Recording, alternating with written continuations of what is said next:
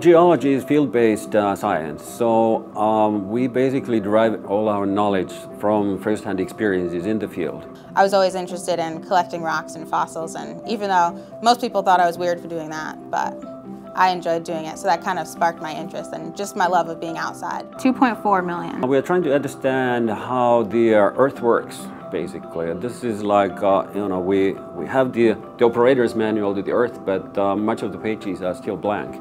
Basically, taking household items, you can make a model glacier that behaves elastically um, like real glacial ice would, and kind of on a smaller scale, seeing how the rock and how the glacier interacts with the environment around it. And you try to figure out what is the, the only way to fit these puzzle pieces together.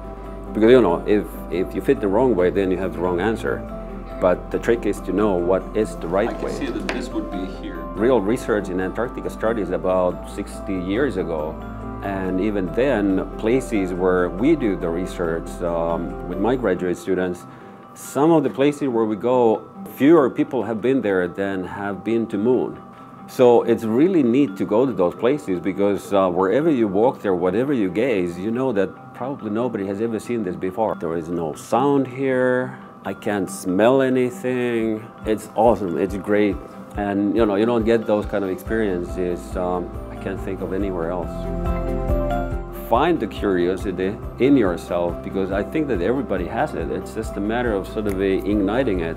In the geology department, the faculty is great. There's a lot of uh, one-on-one -on -one interaction with them, and they're very friendly. It's not just the academic setting. You can, you know, meet them outside of school and talk about research or talk about geology or anything really. So that was good. I could tell that there was that kind of personal connection rather than you're just another student here, you're just another number. So that personal connection was really important for me.